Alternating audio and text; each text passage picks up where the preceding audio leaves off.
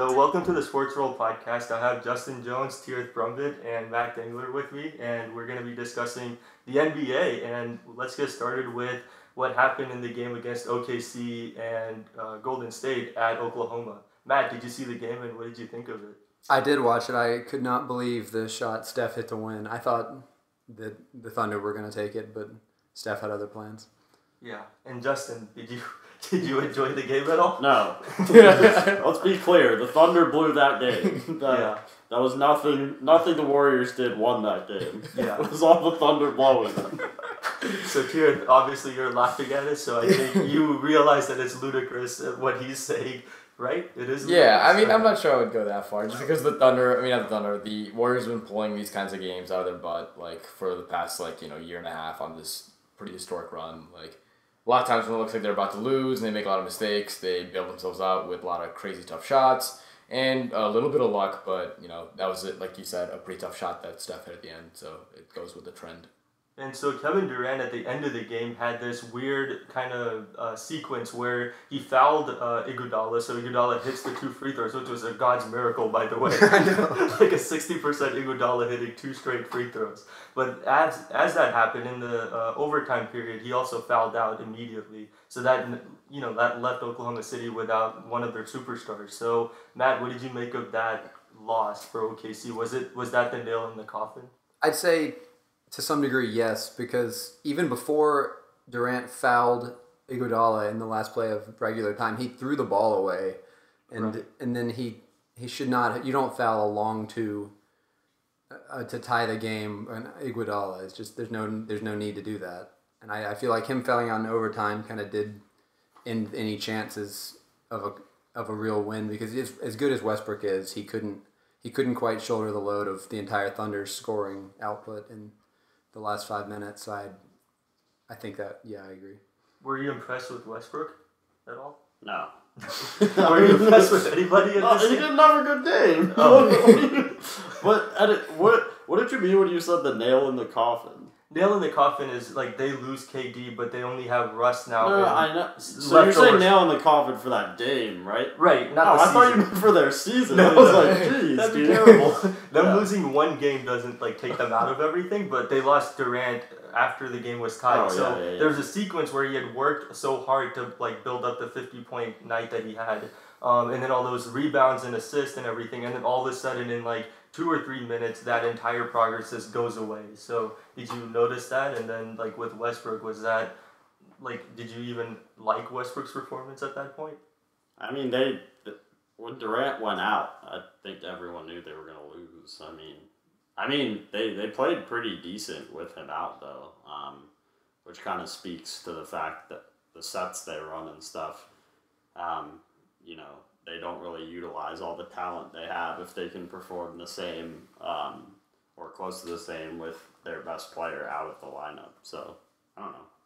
Yeah. And Teerth, is there anything that we can take away from OKC's performance? Is the season done, or like where are they going to be? No, I mean, the season's not done, of course, but I Yeah. think that game shows that, you know, there's more evidence for the theory that Billy Donovan isn't a tactical genius or he doesn't know how to play chess or he's probably playing checkers while everyone else is playing chess. and, um, you know, if he has to face like Gregg Popovich or like Steve Kerr in the playoffs, he's probably not going to make the right calls in terms of end of game like sets both on offense and defense, which the offense thing has been a problem for a while, but the defense thing you know, they've got, like you guys said, like good, talented guys who could probably be decent defenders, but they don't have any kind of way to utilize all that length and, uh, you know, speed. So it's kind of pathetic. But Yeah. And think- also, yeah. Oh, uh, I was gonna say I think we've talked a lot about the Thunder and how they kind of blew the game, but we also should talk about the Warriors. They stayed strong and they didn't have their best game. And I feel like you almost have to play a perfect game to beat the Warriors, and that's why they're such a dangerous team in the playoffs. Because over over a one game, you know they might they might lose occasionally, but when you have to beat them in a best of seven series, it's it just doesn't. It's really really difficult to outplay them in that many consecutive nights, especially when games are at home in Oracle. For them, I just I don't see anyone standing in their way again. Yeah, and tonight the Warriors and the Thunder play at ten thirty today at TNT. So do you guys at least expect OKC to contend? And if they do contend, because these games are tend to be really close and high scoring, so they turn into shootouts ostensibly. So do you think it's going to be a close game given that they had the the bad loss at Clippers last night? I don't think so. I think the Warriors will blow them out. Yeah, but then also Steph Curry is listed as questionable with the ankle injury. So if Steph is out, do you think OKC is going to capitalize on that and maybe try to win for once? I don't think they will. Yeah. I mean, they're not. Even if he doesn't play, I don't see them winning there. Okay. Or maybe even flip the question for you, Raj. Like, Yeah. do you think that after some of these losses and the way OKC's played, because they're playing really well for a stretch, and then now you know the schedule's gotten tougher, they haven't played their best, or maybe this is just what they are. But do you think they're still a contender in the same breath as like Cleveland, like Golden State, and San Antonio?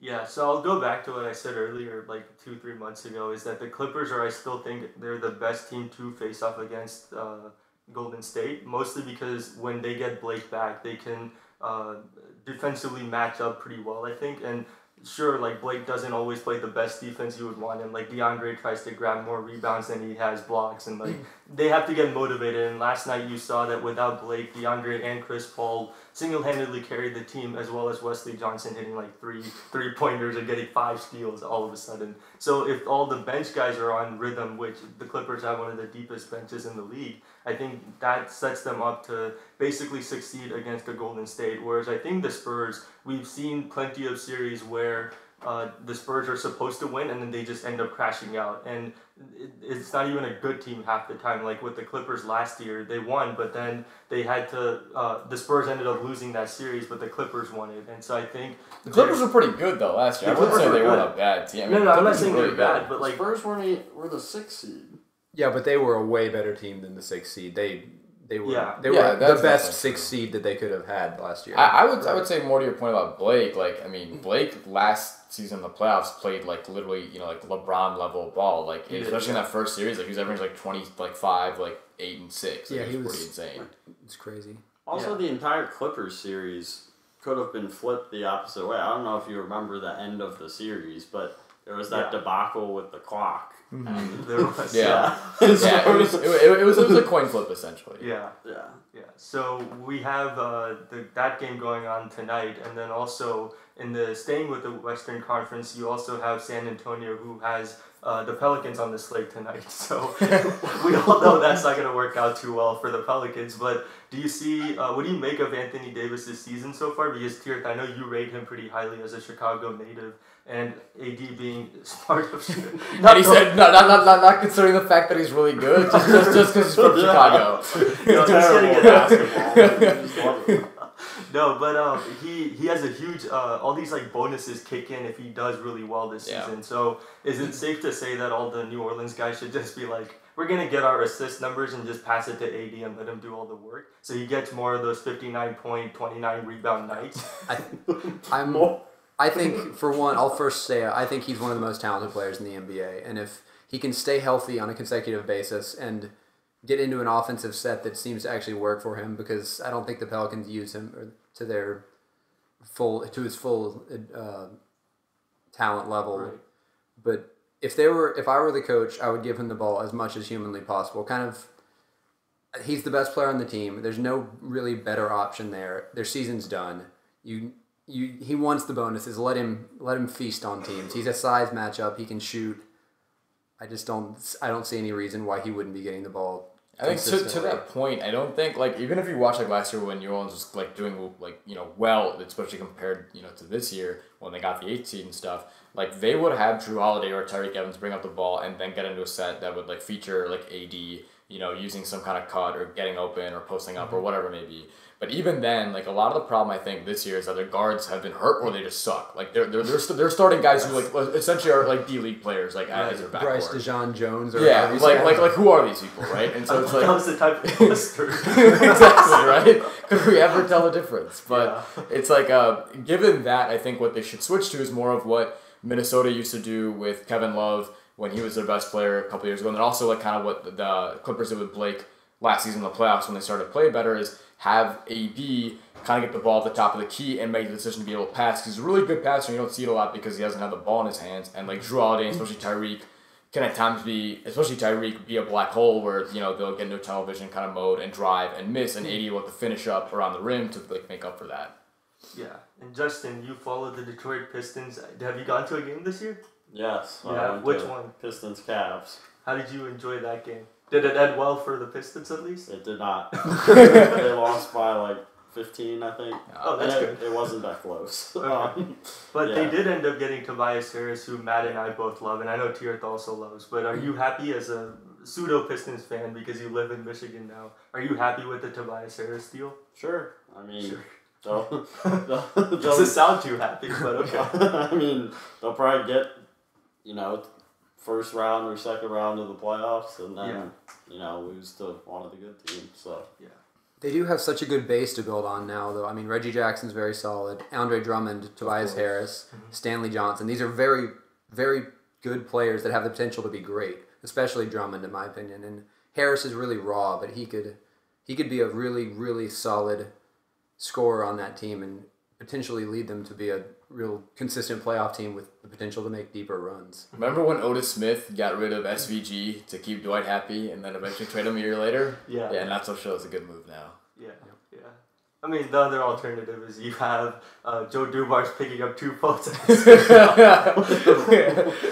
that picture? Yeah, yeah. So I'm glad, you know, for one team it's worked out. And with SVG, Teerth, what has impressed you the most with the revolution of sorts that he's had in Detroit? I think it's just really cool that like you know I know like Zach Lowe and Bill Simmons and like a lot of other people just around the league talk about how like Doc kind of messes up the role of playing like you know GM and coach at the same time and like and like not only him but like other coaches as well the fact I mean you, you know translate to football like Chip Kelly wanted that and he of course you know fudged up a lot of stuff for the Right. Eagles this season um, by making really bad personnel decisions but I think SVG like he's really self aware and that he knows that like even though the league is changing, he's gonna coach kind of with the same template that he's had. Where you know even when he was in Miami, he had Shaq, D Wade, and then a bunch of guys who could shoot around them. And then mm-hmm. in you know Orlando, he had Dwight, a stretch four, a bunch of shooters, and a couple decent guards like JJ and Jameer Nelson, stuff like that. So I think he knows that he needs a big guy surrounded by like solid perimeter shooters and a guy who can really handle a ball and take on some leadership, which I think he has in Reggie Jackson. So mm-hmm. I think that's why he is doing better because a lot of the guys are trying to both switch the coaching mentality and the GM mentality, whereas SVG knows he needs like the coaching mentality to stay the same, so he can just execute on one level for the GM stuff. Is SVG the coach of the year for you, or is there other options like Dwane Casey in Toronto has done a good job, and you also have Steve Kerr slash Luke Walton vying for the joint head coach of the year, and there's always Forgetting Gregg someone. Popovich. Terry Stotts. Yeah, I was gonna say Terry Stotts. is There you go, pick, Portland. Yeah. So any of those stand out, or is SVG the main guy? I'd probably give it to the Steve Kerr, uh, Luke Walton joint. Um, Okay. I don't. I don't know how that would work, but uh, yeah. co-coaches lifted at the same time. Yeah, coaches. I mean, Split the trophy down the Did decision. they ever figure out who gets those wins? Is it Luke Walton? No, it's Steve Kerr. Steve Yeah. Kerr. Oh, it might change. They're saying it might change eventually, but at this point, it's Steve Kerr. Yeah. Luke is still at zero zero. Yep. Dude, I, I need to hire some people like that. You know, I get all the credit for Yeah, the exactly. Like, Have a nice little break there, and then oh, I now have a few more wins now. Yeah. Yeah. So then another good coach that was a great coach last year is Budenholzer in Atlanta. What happened to the Hawks this season versus what was their success last year? What what did they mess up on, if anything? Uh, Matt, you can go. I mean, I think the DeMarre Carroll trade was a pretty big killer. He was such a large part of that team in both on offense and defense. I, I think he was that guy that they could match up on the opposing team's best player, and he would essentially shut them down. And though they are still a good defensive team, he was also good in transition, and he added that element that they're kind of missing. Bazemore's kind of tries to do that. He just doesn't do it quite as well. He better. He's about to get a fifteen million dollar contract. I don't- For what I don't- said. I don't see that. I don't. I don't think he Yeah. necessarily deserves that. But Yeah. uh, additionally, I, I the whole year last year, I think the I thought the Atlanta Hawks were overachieving, and I feel like they kind of proved that in the playoffs. So this year hasn't really come as a huge surprise to me. I think they're a solid team, well coached team with a solid amount of talent who could make the playoffs and maybe win in the first round. Do you think that the right move is to fire Bud? Because that's literally what every team. That's the pivot. It's like Plan A and Plan B. If you draw a tree, Yeah. it's like if they if the team starts doing bad, like the Rockets started four and seven. Mm. It was Route A was keep McHale. Route B was fired. what and about then blowing up the team? I know Or people blowing have up talked the about team that. as well, trading so- guys. I don't think they should fire the coach. for the Hawks, you don't think they should? Okay. Do you so think they should trade people? Yeah. Like Is Al Horford, Horford- like the Yes. core, like Yeah. Horford, Horford. like Millsap or Teague? Yeah. I don't know.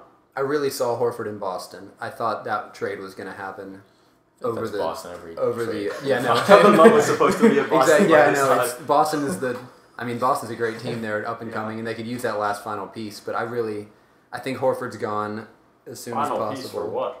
what? They're good. They're the Yeah, three, Boston's they're the good. Final piece seed. for getting to the second round and losing Yeah, but you gotta try. You can't just you can't you can't concede to the Cavs. And the, Bos- and the Boston's got some good young players, like you know the Yeah. core of. They're like, not going to Thomas, win now, like, but I mean, think about with Thomas and even Sullinger now is and playing. Crowder. You Crowder, Avery until Bradley. you Avery see Bradley's Sullinger go maybe the best court. on-ball defender. Like on- it's in the most NBA. amazing thing in the world. Matt knows. Matt I, watches we we talked about this. Yeah, it's amazing to see him s- Yeah. glide down the court Like at two that ninety girth that five. Sullinger has, and he moves like a gazelle. It's the most odd thing I've ever seen on a basketball court. And there's a lot of odd things that Yeah. happen. Like Jason Kidd saying, "Hit me, hit me" with the water cup. So Jared Sullinger is like at the top of that list. But go ahead. What were you saying? I just I think that would have been a nice piece for them to have. I think I think they will contend soon. I, I mean, But you guys really think the Hawks should trade? I mean, those guys aren't that old. I think That's just Horford. attention. I don't think they should get. But Horford, like Horford's thirty, and like everyone's like saying like, oh, the injury concerns, but he hasn't gotten the same injury since two years ago. Like, like he's I been don't- healthy for a while. I don't necessarily think they should do either of those options. Mhm. yeah. And the Fire injuries coach that or or trade. I everyone. don't think they should fire their coach. Yeah, I And think of the injuries that Al has had, they're like torn pectoral muscles, is what Zach Lowe was saying. So that's not like it's not end all be all. if No, you need to trade him, you can. But for he doesn't have any knee issues or anything like that. He's a solid rebounder. He can have like the post moves and everything. And now he has that weird jump shot that I he was gonna does. say- so I think the other can we thing talk that about forgot how- about was Korver though. He hasn't That's been as true. good this season. Like Korver Yeah. has not been like as effective from three or just like as mobile. People Yeah, learned like how to guard him, and his also Yeah. his. I think he had surgery in the offseason. He's still having to relearn his shooting form, and he said a few months ago that that was a real problem, but he was making progress. So who knows? Maybe by the playoff time, he's back shooting forty two percent from three and killing defenses. So we talked about Boston, but let's move to Toronto, where you have Kyle Lowry putting up 43 point nights, and you have DeMar DeRozan who had 34 last night. So both of those guys are contributing, but what's Toronto's uh, pitfall in a way? What have you seen that's not been too impressive enough? Yeah.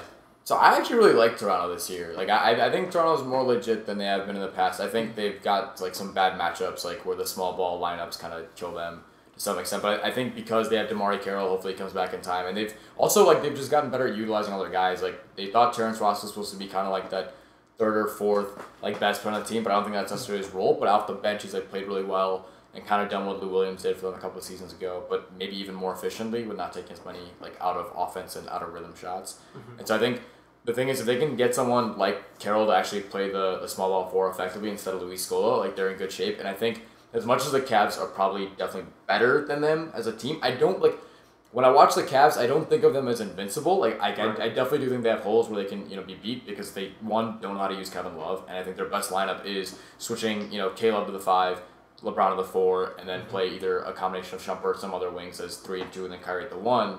But even that lineup, like what I think is probably their most effective lineup at beating most teams, maybe outside the Warriors, is like it's got defensive holes, right? Because Right. Kevin Love and Kyrie are not really good defensive players at their position. So I do think that the Raptors in this current like setup can do a lot if they play the the Cavs. I think they can win at least two or three games in the playoffs. They're number two now. Do you see them breaking their because they have a real issue when they get to the playoffs? They get like stonewalled and they can't really get out of the first round. They get swept by the Wizards. Yeah. right. Of all teams to get swept by, you you pick the Washington almost Bullets. So Yeah. uh, what's going on with Toronto? And do you think they have enough left in them to not only get the two seed or possibly the one seed, but then make it out of the first round? Because if they don't, Dwane Casey's job's on the line.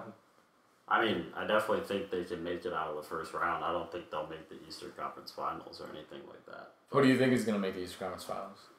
Um, Because you have Cleveland right on yeah, one side. yeah. So. and then the best team that's not the Raptors on the other side. Boston. Which is Boston. Boston. I guess.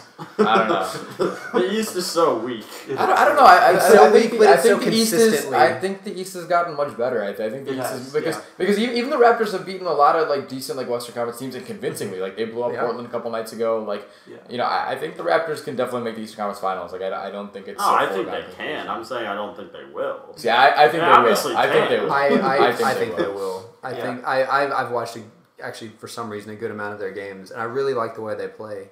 They, I mean, between the, the guard play is phenomenal.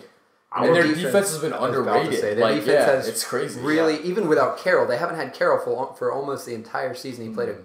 a, I believe, a game or two in somewhere in there. Mm-hmm. But uh, they're such a good shutdown defensive team, and they can. I've been amazed by how Lowry can shut down opposing uh, point guards, and even DeRozan's Yeah. playing very well. Yeah. So what do you guys I would, make James of? Johnson. Uh, wait, I would love to see them get the Wizards in the first round. Wizards aren't gonna Wizards make the are like playoffs. the though. 12 seed. They're not going to be in the playoffs. They might make the playoffs. I wouldn't write them off. They're going to have to knock the Hornets out. Yeah, I, I would What a say. task that is. I don't know. The, the Hornets As are I good wear this the. Hornets The, sweatshirt. the, Hor- the Hornets are good It's this fine year. good. I mean, they're they're, they're solid. much We are improved. solid. Yeah, they're, they're Michael much Jordan is the leader. I mean, so so the real interesting thing though is like I think the bottom of the? East. If you look at all the teams that are like vying for those last spots, like there's some pretty good teams like Yeah. Miami, the Bulls, the Pacers, the Hornets, the the Wizards. Like Right. those are all you know like like those are teams in the past couple years that have done like some damage in the playoffs, and they're all like on the brink of possibly not making the playoffs in some combination of two or three of them. I'm telling you, the Wizards are going to get the seven seed, and they're going to beat the Uh, Raptors. I don't think it's gonna Because they have Four Marquise games. Morris. Four they have games. Markieff Morris. Does How, that how many games until he gets suspended? Well, they also can't stay healthy, and they're, Straight they've been sweep. really inconsistent. Like Brad, like Bradley Two Beal, 20 point wins. He will go three points, 23 points. Brad, Yeah. Oh, Bradley Beal cannot stay healthy for like more than five games. The Wizards will be favored in a series oh against Oh the my God. Raptors. Nah. No. they will. no. All of Toronto is preparing to send Justin hate mail. So Drake be ready will, for that. Drake will personally contact since- Justin. Ever since Masai Ujiri came out and said F Brooklyn, they've sucked. Remember that? Remember that? Yeah, yeah, yeah. I do. Yeah. So I what, don't know. what is it? Jay Z and Beyonce throwing a curse on Toronto? Like I don't. Illuminati, we here. Exactly. So what what is it going on? I, I don't really see the Washington team doing anything, right? They're They barely kept up with the Sixers. I, I, I would I would say Miami is way more of a threat to get in the playoffs Yeah. than do that too. They got Joe Cleveland Johnson as or well. uh, Especially The if Wizards Boston's are are the coming back Raptors' this season. kryptonite, though. the Wizards will beat the No, Raptors. the, the, the, the, They Wizards don't even have their interior guys like they did last year where they had Gortat and Nene, and that was kind of one of the big mismatches they had against the Raptors. Well, you, you just said the Raptors are vulnerable to small ball lineups. But the, the, the Wizards small ball lineup hasn't been as good as we thought It's it was not going to be. Like it's Otto actually been Porter their worst. Jr. It, it, it, it's been their worst lineup. Like that's Kelly surprising. Oubre Jr. What are you naming names? Otto Porter Jr. Otto Porter Jr. is mean hurt Mr. like, and irrelevant. I will play for five minutes, get hurt, and Finals three games, come MVP. back. 2019.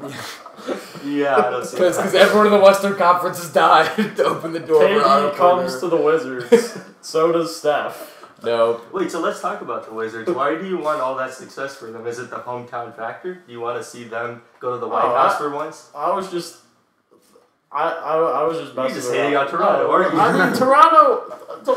I'm tired of hearing about Toronto. They don't do anything I in wanna see- I would They like had a to good s- All-Star like they have weekend. to. They haven't made a mistake. because other players got to play in Toronto for once. Oh my god. Are you like anti-Canadian No, now? my one of my one of my best friends is from Toronto, and he keeps telling me, "Oh, the Raptors are gonna be so good this year." Nope.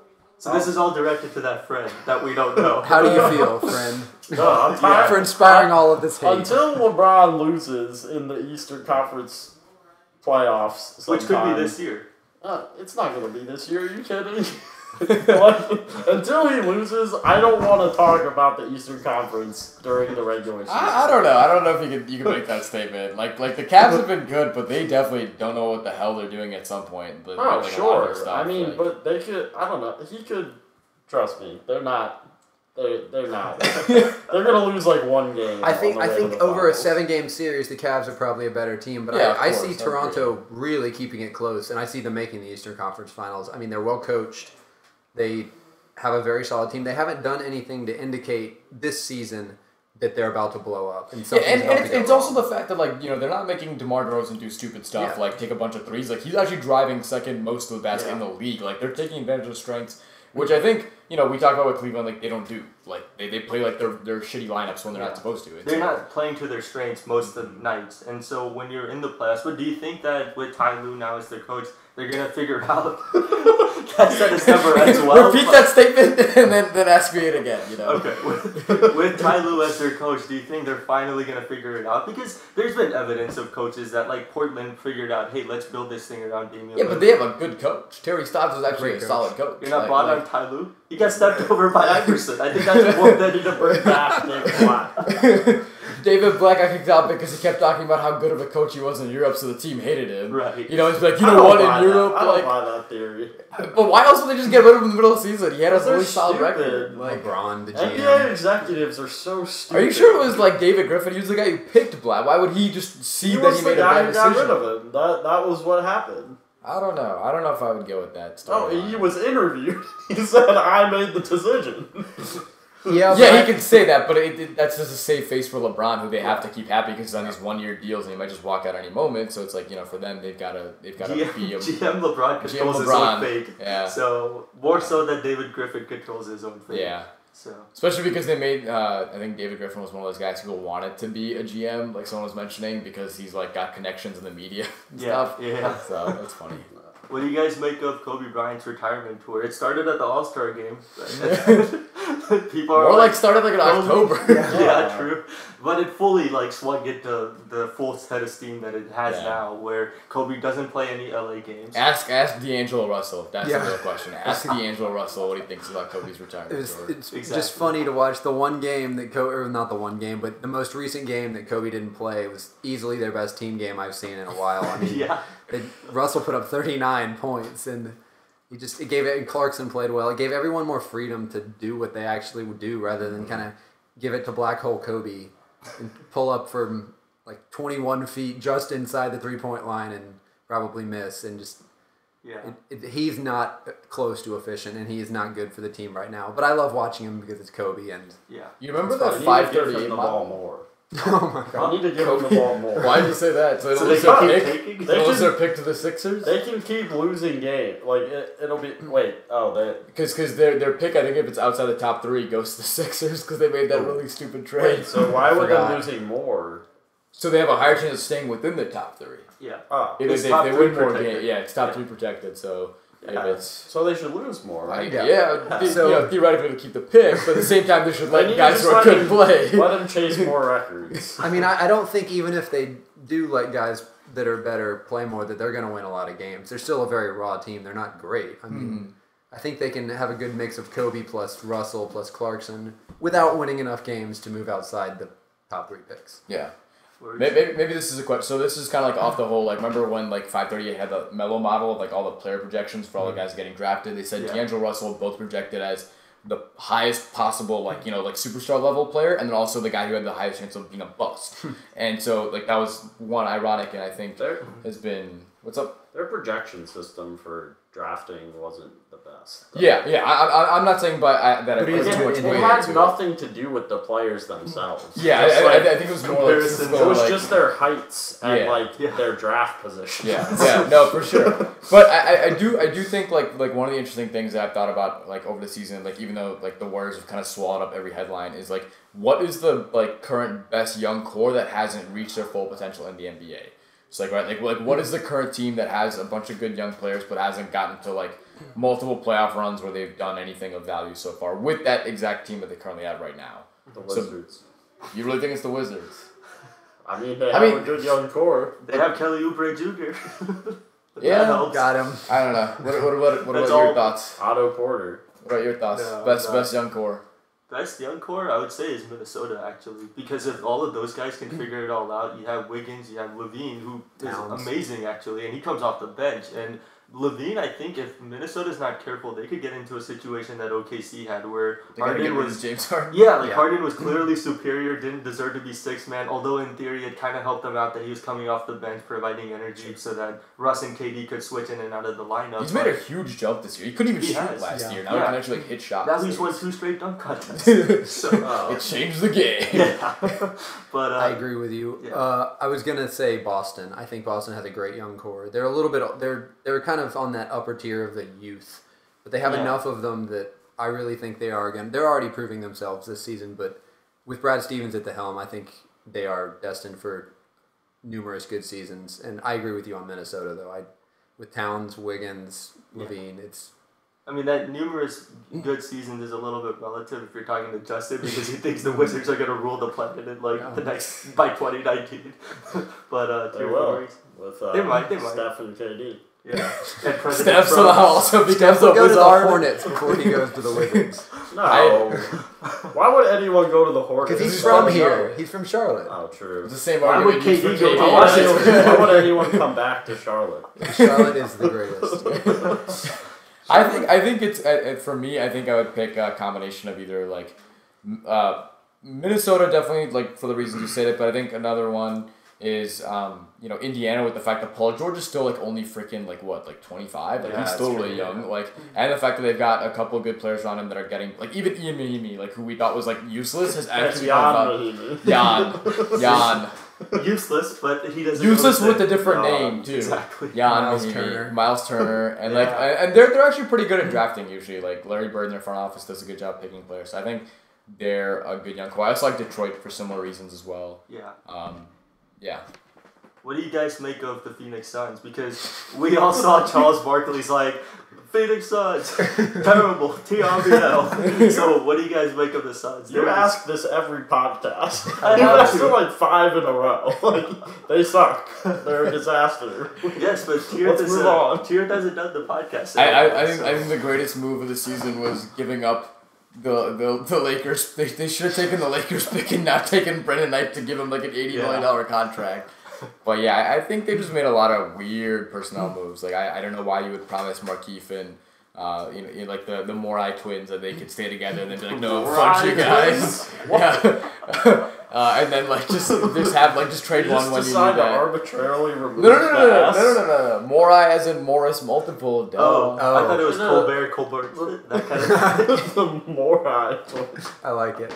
Uh, but yeah, I mean that, and then also like the you know you have Dragic, Thomas, and Bledsoe, which in the first place you shouldn't have signed Isaiah Thomas probably even if he had value.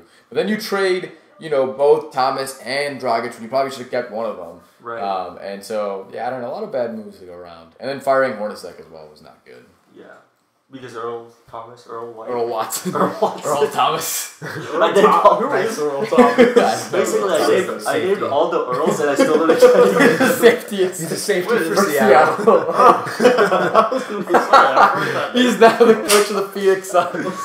Hey, Uh, that would be a better move. That than would. I mean, it's, I think It's possible. Because Earl Watson, before you go, Sure. um, Earl Watson does the weird lineup things. Like one time, he had Alex Len coming off the bench, and the guy put up like 19 and 13, like 19 points, 13 Mm-hmm. rebounds. The next second, he has him in the starting lineup, and the minutes decline. So he's kind of like Scott Skiles. We have no idea what he's gonna put out. But what do you make What of the you're- Suns? What you're referring to is one of the more frustrating nights. I played him in FanDuel that night because he had like 45 FanDuel points Yeah, in like 24 minutes, so it's great. yeah. And the next game he starts, so it's, you think, oh great, he'll get the minutes. Mm-hmm. He plays This like Earl se- Watson. We're talking 17 minutes, and I don't think he even had a foul. So it's not like he was in foul Yeah. trouble. But that's the type of moves the Suns management makes. I think I think more like confusing the Suns is how is Dallas not like garbage? Like how are they not horrible? Like I thought they were gonna be one of the worst teams the in the West spirit by of far. Mark Cuban. Like I, I, I just don't understand how they're like like even you know in playoff contention, let alone like actually. They have a spot. lot of like nitty gritty guys. I don't know if you've seen that. I'm trying to write a piece on them, so I had Mm-hmm. to watch like all four of their last few games. And they have this guy named Salah Mejri. He's like Yeah. seven footer, and he blocks like every shot. He's basically like Enes Kanter, but fifteen million dollars less at cost. and actually this is plays amazing. defense And plays He plays defense, defense, yeah. so like Dirk doesn't play any defense, and uh, understandably so. And then David Lee just like risen out of the dead from Boston to Dallas. So What like David, position are they in now? they're sixth, I believe. They're in the playoffs. They gotta actually. get the eight. So they can knock off Golden just State. eight. Then Yeah. knock off Golden State. I, I, I think I think they would have a much back- harder time playing back Golden for State than any 2008. of those other teams. Yeah. Pay him back for 2008 when Golden State ruined their. It's a completely different team, right? Yeah. Speaking of Dallas, what I've loved is the resurgence of Raymond Felton. I mean, he's a former former Those, UNC those guard. four words that were I know, I never words. thought I'd say that. Oh, But he's actually not that bad. If you watch games, he's pretty efficient. He's not a bad. He's actually adds to the team rather than Yeah. takes away, which is shocking, honestly. And he hasn't gotten a DUI And he's yet. and he's So and he's better than Ty Lawson, the other UNC. Yo, what is it with these like point guards coming out of UNC and getting these like trouble with the law? Like, Hey, why is it Ken, Kendall just got hurt. You didn't get in trouble with the law. He just got hurt. No, but you know, Plus Ty PJ Lawson. Hairston, the shooting guard, small forward, getting in trouble, and Come on, Roy Williams. Tighten that the guy bolts. Fats Thomas. what a name. Wait, what? We had a guy named Fats Thomas. No, that was the was the guy that PJ Hairston Oh. got the cars from. I mean, we're, we're UNC students, so we Didn't he, didn't know he trade cars with Josh Gordon or something? He some probably shit like did, that. Yeah, Probably. Yeah. Free PJ. But now, but pre, uh, PJ is freed in Memphis now. So what do you guys make of Memphis? This provides the perfect segue. Wait, he's on Memphis? He now? is, Yeah. He came over in the Courtney Is Lee this good or bad? I don't care at all, to be Okay. honest. He's putting like 15 points a game for them. Since- all threes. But Wait, like, would he have been a senior this year? Nah, I No, think he would last have graduated last year as a senior. Okay. Yeah, if Since- we had him this year, though, like, seriously. If we had Tokoto. But- He's It on would have been worse. I know. I say if, if we had no much Tokoto would if add we some depth to our team, but Tokoto couldn't shoot. That was he, his problem. Yeah. but he could dunk Oh, and he man. could pass occasionally. Do you guys remember the Duke game last year where we had the ball down two with like 10 seconds left and Tokoto took a long two? I remember that shit. I was like, I what? so mad. I was like, why? This is, by the way, this is exactly what Dion Waiters does every time Westbrook gives him the ball at the three point line. He takes a dribble in and goes like two feet inside the three, and then I, I'm, you know, shot. I'm really surprised. Like, like Russ hasn't actually like murdered like the Waiters yet.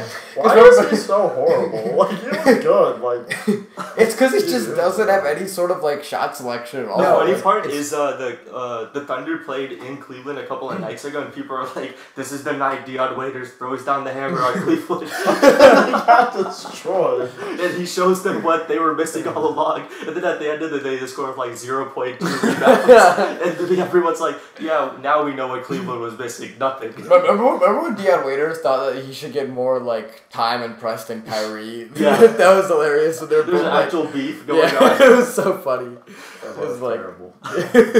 You're a Cleveland fan. Why do you think Kyrie's terrible? I'm a LeBron fan, and Cleve- Kyrie's ruining it for him. He goes where uh, LeBron goes, America. He goes where LeBron goes. where where he's at, fam? Or where he's Oh, at? no. It's like, no, it's where's stupid to LeBron root at? for a team in the NBA. Like half the years they're irrelevant.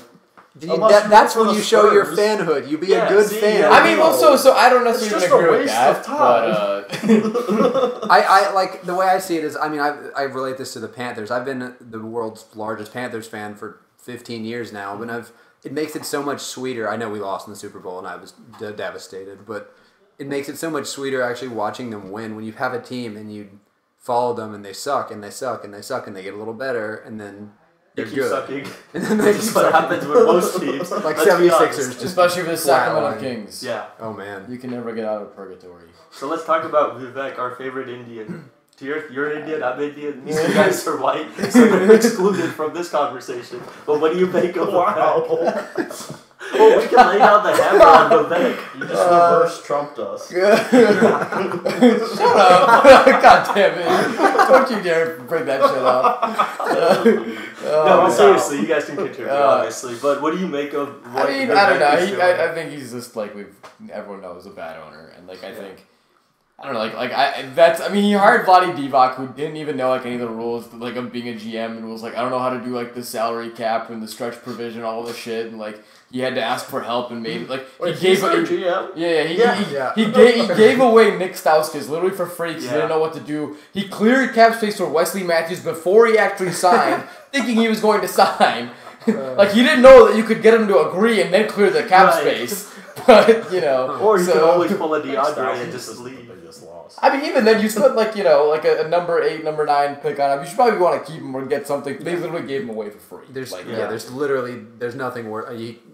You gave him for nothing. You might as well have a rotation player. Yeah. probably better than Macklemore. Macklemore. I mean, Like, like, you guys remember, sorry, No, go ahead, the play yeah. in that one playoffs where Vlade Divac batted the ball back to Robert Horry for the game winning Yeah. shot. But but while while he's that great on a basketball court, he really doesn't know the GM position. I think I told Matt about this. Like there's a, a trade that they're trying to execute uh, with the Kings, and so Vlade like executes the trade at the last possible minute, of course, and then he forgets to send the league a fax saying, "Hey, we've traded these two guys or whatever." So he sends the fax to like Boston, for instance, if that's where the trade is happening. I think it was the Isaiah Thomas trade actually.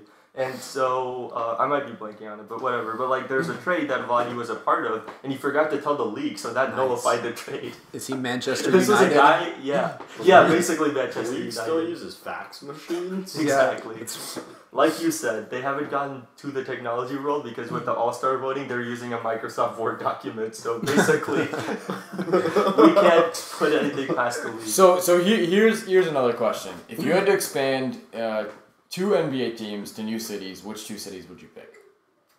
Uh, are we adding teams or are we taking teams? Adding teams, adding Like teams. taking the Wizards, putting adding teams, Okay. adding teams.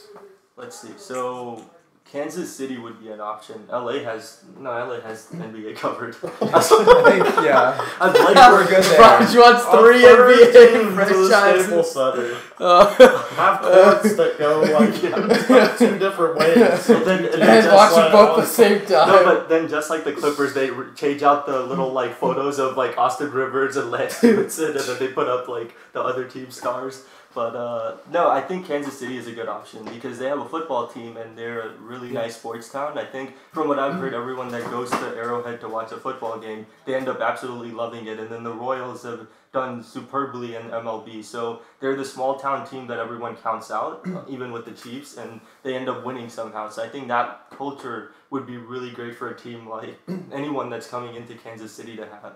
Uh, like Charlotte never really had that, so when they got the Bobcats, like the winning or the tradition of crappiness continued because they had the one Super Bowl season and mm. they had a few miraculous years with the Panthers, but they were really like the only professional team and the atmosphere collectively in the city wasn't one of winning. It was more of like abysmal. So with Kansas City, I think that can fix the issue. But Matt, what city would you suggest? I'd bring back the Supersonics. I think Seattle. Seattle would be a really fun city. I mean, they've got a really nice, as much as I hate them, fan base in Seattle for the NFL, and Oh they yeah. the fans. Why do you hate Seattle? Why would I not hate Seattle? They, It's the Panthers Seahawks thing. in in that in and different divisions. they are No, but the, the same weird conference. now the huge rivals. Yeah, they have to go through Seattle to get to the. Pretty much, it's gonna most it's gonna be Panthers Seattle a lot in the NFC now. Yeah. But uh, I don't think the Panthers are gonna be good anymore. You're crushing people's dreams right now, man. I have a lot of reasons One to year argue wonder. that. But Only advancing his. But but yeah, uh, I, I think Seattle will be fun. They, I mean, after they moved Their to Oklahoma. City, the fans have been missing them. I read an article the other day, like, please bring back the Supersonics. Didn't they play the AFC South and the NFC? Yo, uh, this is an NBA podcast. Keep it on track, yo. come on, Justin. Talk about that stuff in Michigan. We don't need all that up over here. I'm just kidding. Not really, but no. Um, I think that I think um, Oakland. Now that now that the Warriors are moving out, They are um, to the Chase Center. yeah, Yeah.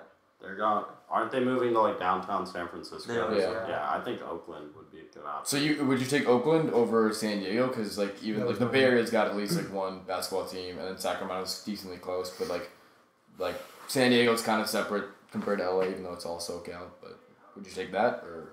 I don't know.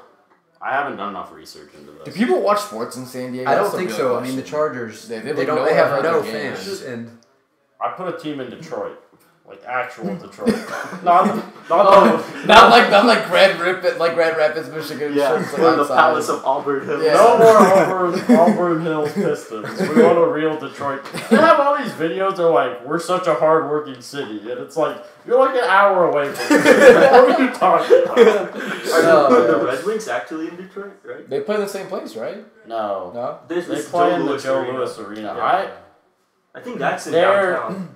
They're either moving downtown and they're currently. I think they're downtown now and they're moving, They're moving away. out, yeah. yeah. It Nice. sucks. And the Tigers are Comerica. Where's that? In the That's city. in the city. Okay. Comerica and Ford Field are right next to each other. Oh, right. The Lions as well. Yeah, I was gonna say so. For the two, ci- of course, the Sonics are the obvious choice because they've like actually won an NBA title and shouldn't have like a real fan base before. Yeah. Um, but then the second city I think would be St. Louis because they lost the Rams to mm-hmm. LA. I think there's like a a gap of like people Yeah. like who are like, oh, we have like one less major sports team now. All we have is the Cardinals and the Blues, um, which you know hockey is kind of like, yeah, like who the fudge really, you know. it- Hey, it's- we like hockey. we, we, we, we might like hockey, They like but, the but Blues a lot. There. they, they Yeah. do, but even then, in terms of just like relevance on a national scale, Sure. hockey's the fourth, like by far, like not even close, like in terms of like sports uh, that we watch. And so, like, I think basketball would fill in that gap. I wish hockey was bigger. Yeah, Do you, though? it's really fun to watch live. Not on Yeah. TV necessarily. But but we've talked about this before. Hockey's got some crazy people who are hockey fans. Oh yeah, I'm not saying that I like hockey fans. Wait, I'm be saying. I wish You, Justin might piss off even more Canadians by that sentence, so we don't need to go there. again. Just don't I'm insult from curling. Canada, Matt. That's my heritage. Shut the hell up. That's true. what? Some of my heritage is from Canada. Oh, okay. Well, those What, like joke. one tenth of one percent? Oh, like my grandma. Oh, Oh, okay. Yeah. I Well, don't- now you tell us after we like ridiculed you. I just want. I, I don't really care about hockey, but the Caps are doing well this year. So Ah, so the truth comes out because I'm like, you don't actually give a shit about hockey. To be Be fair, real. to the be Caps fair, are more dominant than the Warriors. That is that is true. They Yeah, Sports yeah. Center ran a special on this the other yeah, day. that's what I was gonna say. Justin shared that article immediately. Like the second really? it was written by the I don't Washington believe it Post, at all. I saw Justin. this guy's like, you know, actually in real, in, in real life, I don't really. I mean, give a have you shit. seen the Warriors? They're definitely more dominant. but. People are just trying to make a point and try to get an extra story out of it because there's nothing to talk about anymore. Can I- Anything that downs the Warriors, I'm I'm down for. It. Can I bring up one other kind of funny thing I saw the other day? yeah, go ahead. There was some I don't know what this was. Someone shared it as like, "Are you serious? You can't make this compar- comparison." But it was some sporting article website ran a thing. It was like Steph Curry's season is the equivalent of hitting 128 home runs. I think. From Mike Trout, yeah. Yeah, but yeah, like, that's the name attached to Yeah. it. But yeah. but That's so. it's just not a. It's not a. It's not the same. It's not a comparison. Like That's Steph has complete destiny over where that shot Exactly. Exactly. Whereas there's Trout so is much. like dependent on a pitcher. there's a pitch. the right There's ball. so many added variables that they're not Yeah. taking into account. That's just there's no way to make that Yeah. an actual comparison. So how about we actually do some real journalism when we talk about the Warriors because everybody else has lost their Yeah. mind. But uh, going to the uh, Orlando Magic, what do you guys make of Eric Gordon? Why you're a do you still want to talk about Canada? What a Or? random team to pick. I like. well, I like yeah, we both like the Magic. Yeah, and I'm surprised you said he likes the Magic. Because I've always Bulls, liked the Magic. Your Bulls lost by like thirty to. I mean, the- listen, listen, listen. I, I, I, want, I want the Bulls to reset. So the more we Oh, lose, the okay. more it forces the hand of the front office. I don't really He's been saying this for years. they're up. They're up two one on the Cavs last year, and I I'm like, "Are you happy?" And he's like, "Nah, I want them to lose." Well, because I knew we weren't going to actually win the, the NBA title. I, like that's all I would You care about as a fan. Conference. No, we wouldn't have because I knew we weren't going to win that series. I knew Right. we weren't going to beat the Western Conference team. Like you know, like you have to be realistic. Like, You you would just have won like- the Eastern Conference if you. Had Even if that's the case, we would have gotten smashed by either the Warriors, the Thunder, the Clippers, the Spurs, anyone. Any four of the teams we would have lost I to. I don't know about that. I mean, this team was kind of built with the idea that Derrick Rose would go back to being like his actual good self, which he hasn't. So like that, you know, you can't have that team be the same team and expect to get to the same place you want to go. Yeah, I think they need to cut cut ties with Derrick Rose and make Jimmy Butler the focal point. Face of of Even though it's already basically happened. I mean, it's Right, kind of yeah. happened. and Derrick Rose is just kind of hanging on by a thread, but it actually just needs to happen because that'll free up Butler a little bit more on offense, and everyone will kind of recognize him as the undisputed leader. Whereas Rose has been there longer. He used to be the leader. Who do you look to? Who still? I got a question. Who still buys Derrick Rose stuff? Derrick Rose. I- like, like the Derrick Rose brand. Oh, I don't know. Still no, but I have shoes that are Derrick Yeah, I have- Rose's, I have and his have a I have his jersey old- They should Derrick just Rose. change it to Jimmy Butler. I'm not sure that's He's, quite he's, as he's marketable. Jordan though. He's void Jordan their now.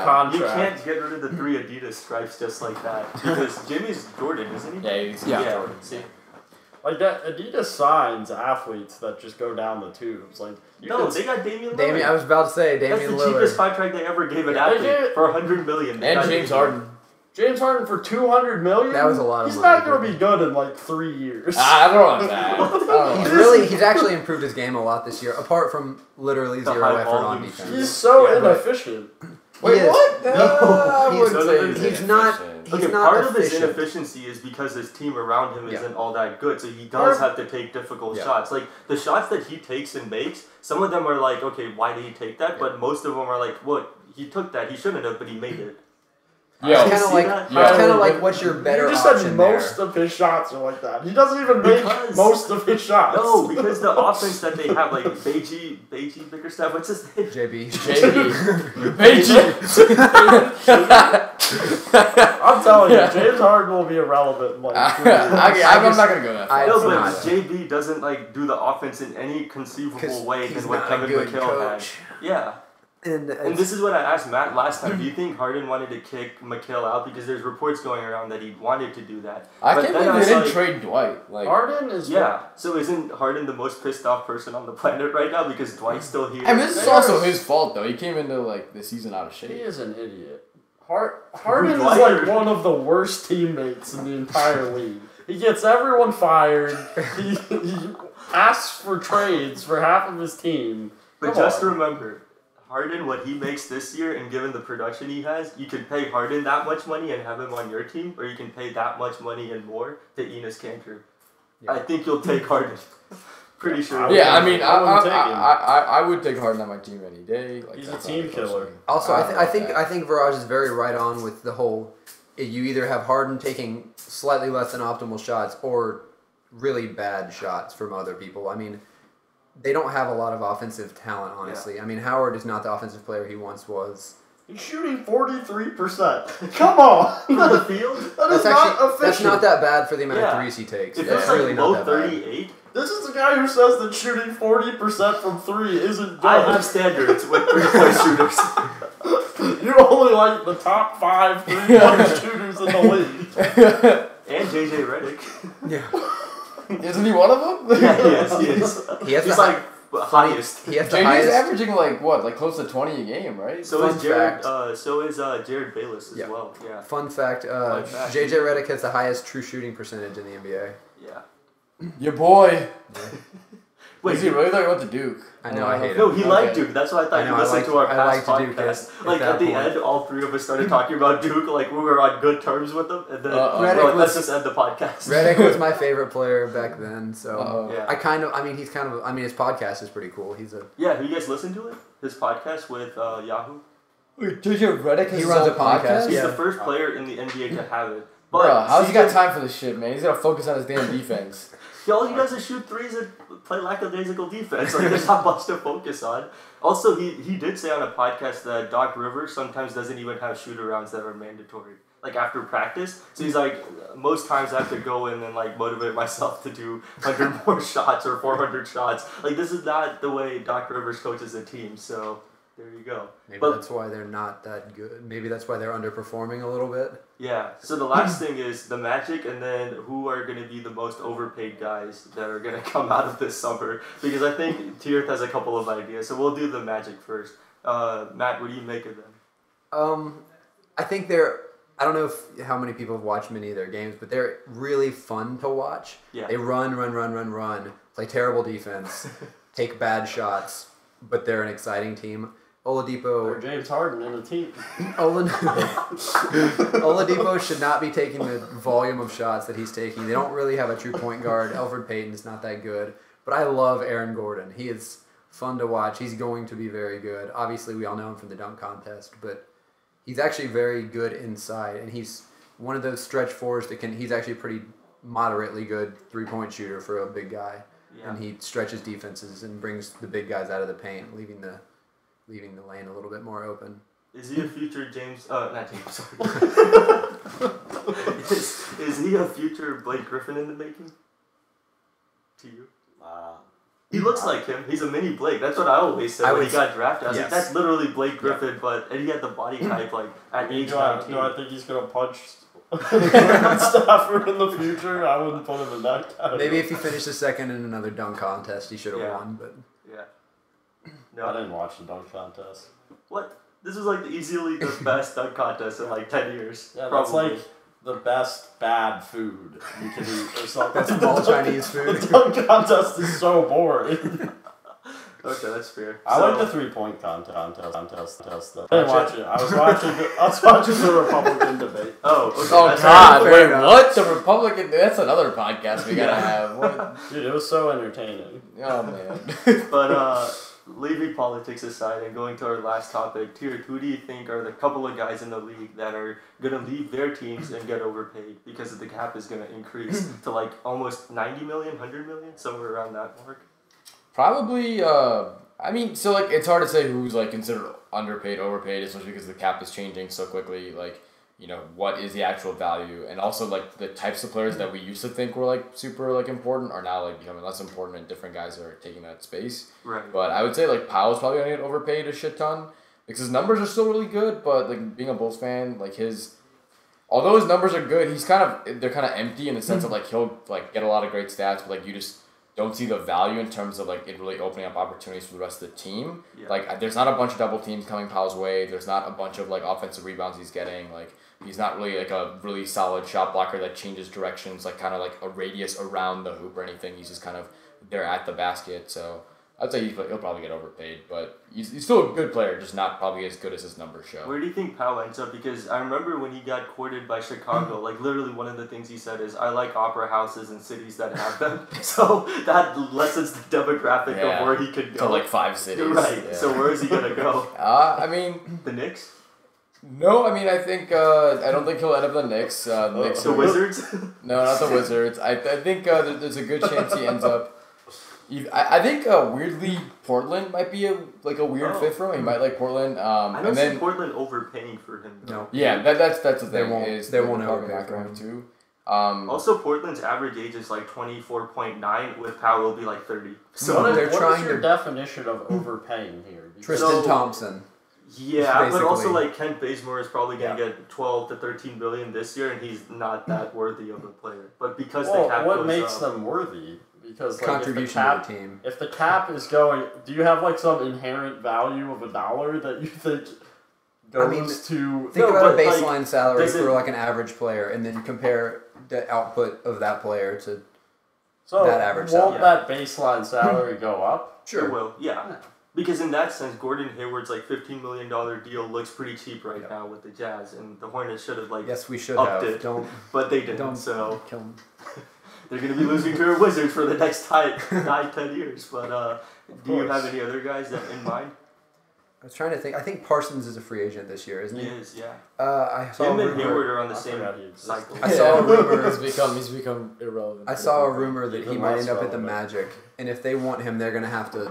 The Magic one? him. Or that's the well, that's hell? I saw an article today that he might end up on the Magic, That's a but good uh, fit.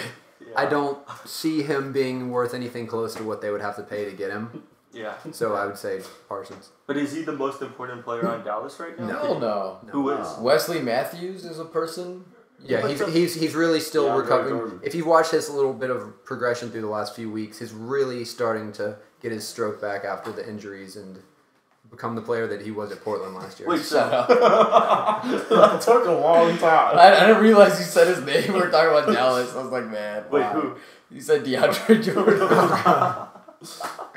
Uh, DeAndre sends love from LA.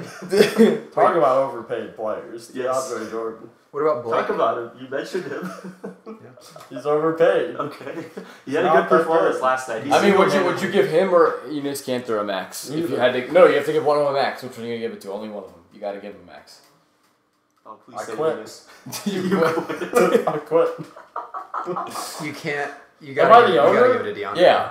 Yeah, He I tries. guess. No, no, sells like the oh man, no. GM, he I sell sells the the team. team. I get out of there because. I Wait, you sell OKC to who? There's not that many options. That Seattle could take him back, but there's a lot of Oh, bad. Yo, I'll buy Stay OKC. I've got all the money in my wallet. you Yeah. know, I can take out a loan. But while we're ahead, thank you guys for doing this, and let's us also quit. Uh, I want to. One last note. now you want to gonna- talk? I'm gonna listen to this in three years, and James Harden is gonna be irrelevant. And the Warriors are going to be the 15 in the East, or the Wizards are going to be the 15. Sorry, Yeah. not the Warriors. Yeah, you can't get everything. Wait, what's want. the 15? The last seed. Oh. It's the worst. No way. No way. Either Yeah. way, everyone remember to vote. It's important to vote. Damn it, please vote.